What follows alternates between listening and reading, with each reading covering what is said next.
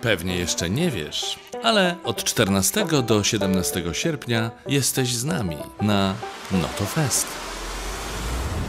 Notofest, trzeci festiwal filmowy Suwałki. W programie m.in. Miasteczko festiwalowe Notokino, a w nim tematyczne bloki filmowe. Wieczorne kina plenerowe z pokazami filmów pełnometrażowych.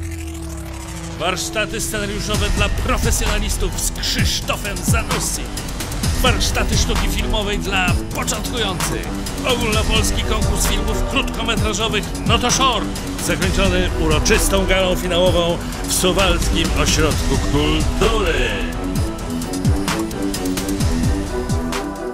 Pobierz naszą aplikację i bądź na bieżąco. www.notofest.pl